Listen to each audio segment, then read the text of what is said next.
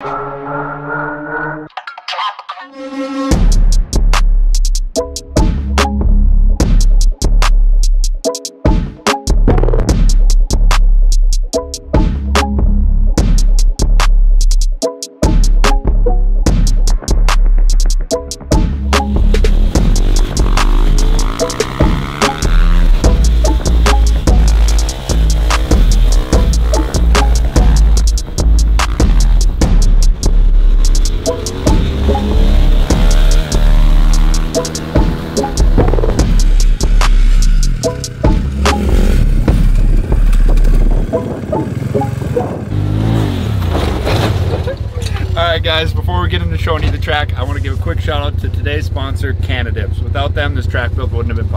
possible. Cannadips is the nation's leading CBD dip. It's completely tobacco and nicotine free. They've provided a dip for you guys that will help you quit the bad stuff while providing discreet and fast acting CBD on the go. At first, I was pretty skeptical on using CBD, but Cannadips has really helped my mind relax at night and my body recover after working on the track. In partnership with us, Cannadips is dropping their greatest deal ever. Head over to CannadipsCBD.com or click the link in our bio and save 50% off the Cali Roll or the Humboldt pack using code CBoysTV. Each pack is full of five flavors and is only $25 instead of the usual 50. The Cali Roll is their traditional pack with citrus, mint, mango, wintergreen, and spice, and the Humboldt pack was just released today and has five strain flavors like strawberry cough, gorilla glue, blue dream, and papaya. Both these packs are normally $50, but only $25 by going to the link in our bio or using the code CBoysTV at CannadipsCBD.com. Cannadips are the ultimate discreet dose. No smoke, no smell, allowing you to pop pouches on the track at work or around the girlfriend or wife. So head to CannadipsCBD.com or click the link in our bio to make your pick. Thanks again, Cannadips, for sponsoring today's video. Now let's get into the track.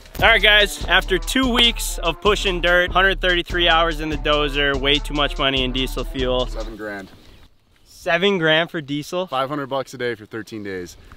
All right, after $7,000 of diesel fuel, we now have a dirt bike track. First off, big shout out to Rich for coming out here. We booked him a one-way ticket and he said, I'm leaving once the track is perfect. And then once he got here, we said, not only do we want a dirt bike track, we also want a pond. And he was like, okay, I might be here then longer than expected. But it turned out insane. Rich is the best in the business. If you guys want a dirt bike track built, he'll fly out, build you whatever you can dream of. And everyone go show him some love on Instagram. We're gonna link him in the description. We told him that we wanted some big jumps that we can hit on dirt bikes and razors. And so he built mostly all tabletops and then a couple doubles, like the double behind us that Mike hit in the last video in the razor. And then one smaller one over there. But uh, we should be able to ride the razor and basically anyone on a dirt bike can ride the entire track, which is what we wanted. And then we told him we wanted a pond and he built us a lake.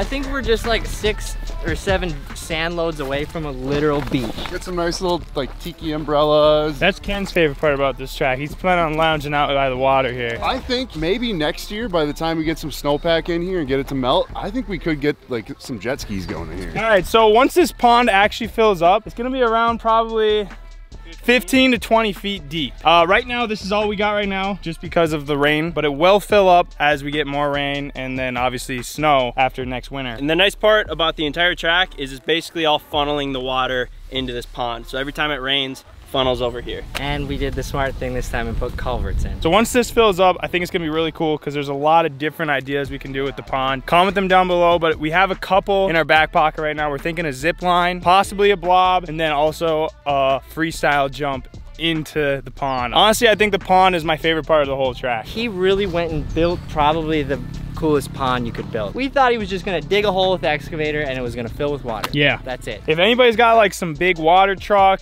and they don't mind bringing it over here and helping fill up our pond, be our guest. We would love that. Or we host a meetup here and everyone has to bring one bottle of water. Dasani, Dasani water, and we're gonna fill up and we'll call it Dasani Lake. Oh no, we're Avon only here.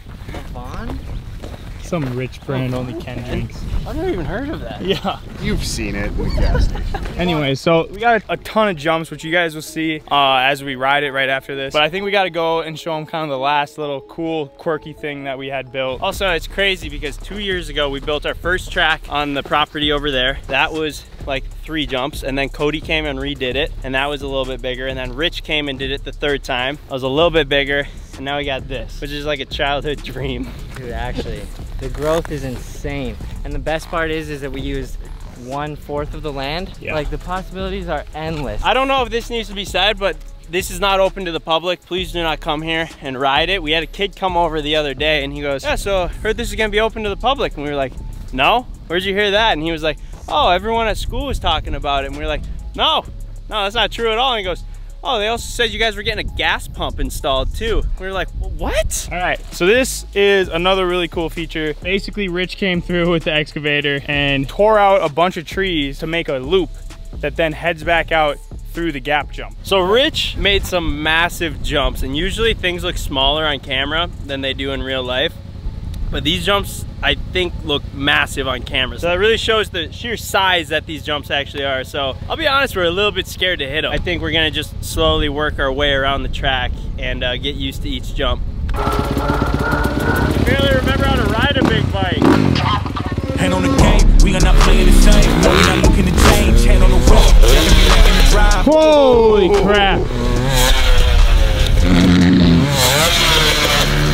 Mike could not be any closer to not making it. Every time it's just dirt right off the edge. All right, starting to get the hang of this. Ooh. Holy shit, Mike. Damn it. Ah! Oh, Mike.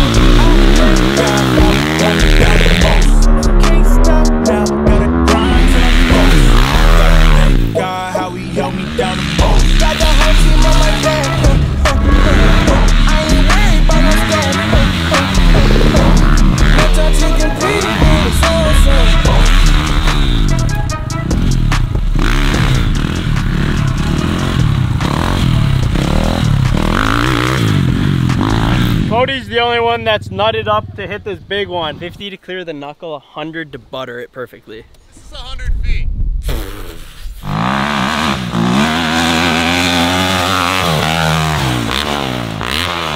Oh my oh, god. You're a wild man. Dude, this is fun.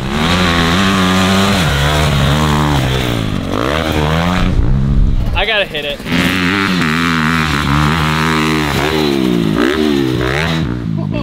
Oh my god. You guys are so high on that. That's the biggest shit I've ever hit. Holy shit. Dude, you are so high. so big, bro. That is terrifying. Did you guys ever think you'd be jumping 100 feet on our freaking new track? No, and honestly, I didn't really want to. Especially not after 15 minutes. We still like haven't even hit the other jumps. Dude, I can't wait to see the Razor school bus absolutely clearing the tree line. Like, do you even think it's possible? Not to go as deep as the bikes, I don't think.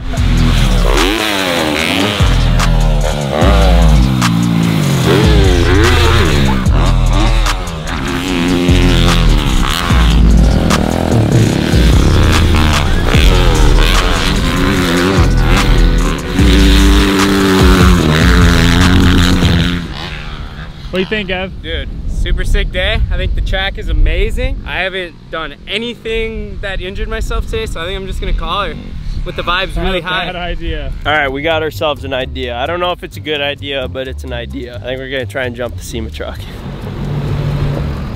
That's a pretty big jump, but this might be a kind of a tight squeeze. Mike's saying there's no way he hits it. I say there's no way they don't hit it. Like, I'm just looking, I'm eyeballing this. Okay. But if you come up short, like looking at old videos. Well, you don't, but you. We all have multiple times where oh, we barely clear If it. you got the back tires to the edge of the landing, you're not hitting that truck.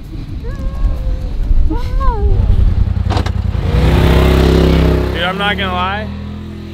It's so unnecessary to be doing this right now. Like, it's cool, but that's about it. That's pretty much everything we do, man. I know, I know. Does insurance cover this? it? Does it? No. On it, on it, on it!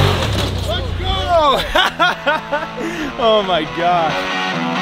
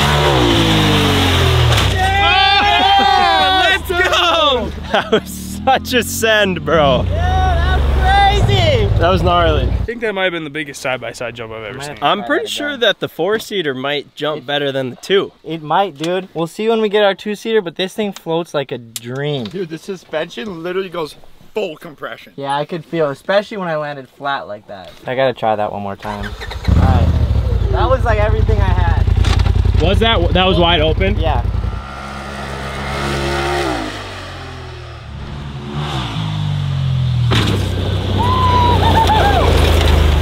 Who is this guy?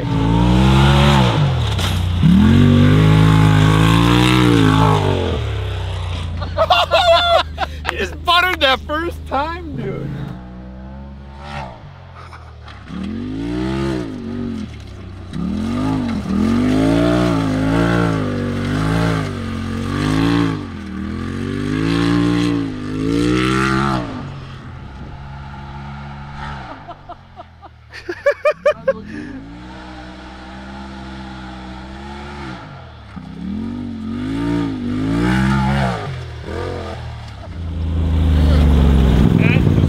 That's the whole track, baby. All right, I think we're done with the track for the day. We're gonna go and surprise Ken with some new earrings. But again, big thanks to Rich for coming out, building us this track and the lake. So stay tuned for the videos that we film with it. Also, next Thursday is my birthday. and it's a merch drop. I cooked up some 4th of July merch for you guys. So next Thursday, we got a merch drop and a big, big giveaway going. So stay tuned for that. Go check out the website, scroll it. There's a bunch of cool stuff. Go tell Mike, good job, Wheelman. And uh, Let's go surprise Ken Uh, some some earrings. earrings. Yeah. All right, guys. So a couple videos ago, we surprised Ken with massive diamond earrings that he thought were real, but in reality, they were actually ten dollars and from Claire's. But we made up like a fake invoice and showed that to him to make him think that they were real. The issue with it is how excited he was for the earrings. So he still doesn't know that they're fake because the video hasn't aired yet. So we're gonna go to the jewelry store right now and pick out a real pair of earrings. This wasn't in the plan to go get him the real deal earrings, but now we are 100% obligated to. So, I, I mean, at least he'll be rocking some real diamonds after this. We are a little afraid, though, how much this is gonna cost. How did it go with Ken on the whole CZ thing? It went too good. he was like so excited and he, he didn't question for a second that they were fake. And like he loves them. So he's been like strutting around, like showing everyone his earrings and he's just it's, he's like a new man. So All right. we feel like we have to buy him Kind of have to ante up, yeah. ante up. I think we just got to get something relatively close to what the invoice price was that okay, he well, thought I, I the did fake ones invoice were. you for one of these pairs. Yeah, That's perfect. That was- well, that let's was- just do that. Okay, for Yeah, so I think he did I think this it's one, yeah, it? thirteen hundred. Yeah, I think those are the ones that he had. What do you think?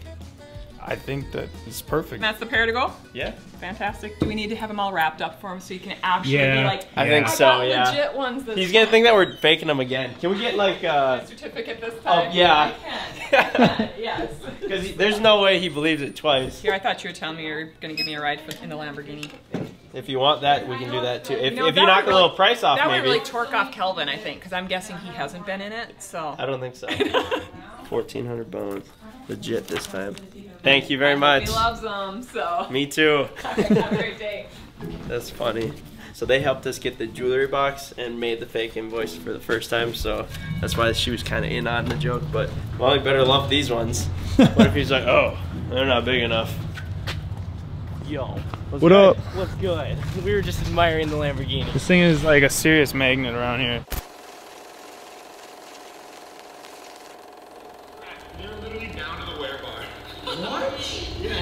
Alright guys, so about a month ago, Ken lost a hot dog eating contest to Mike. and he had to get both of his ears pierced. Anyway, they did these smallest little earrings in there. They're basically eight-year-old little girl earrings. So uh, I went out and bought him a replacement set of the biggest diamonds I could find from Claire's. They were $9.99. Ten bucks, bro? I'm sorry, Ken. Now, now I feel a little more justified giving you that titty twister. You look so good though, Ken. I think you should just keep rocking them. uh, not anymore. Now I can't. You're not gonna wear them anymore? No. no. Why? because of that. I told you. I knew he wouldn't wear them if he knew they were ten dollars. I feel so bad. Kevin's so proud. Oh, you did actually get nice ones. Well, don't jump to the conclusion yet. Oh god. All right, Ken. Those are the no, those are the real ones. All right. Those are the no, the, these are the real ones from the receipt. Okay, that makes a lot more sense. I oh. did want to get you the same size, and then I found out that they'd be like thirty-five thousand. Yeah, yeah, I, I know. Those gonna work? Yeah, these are good. Thanks, buddy.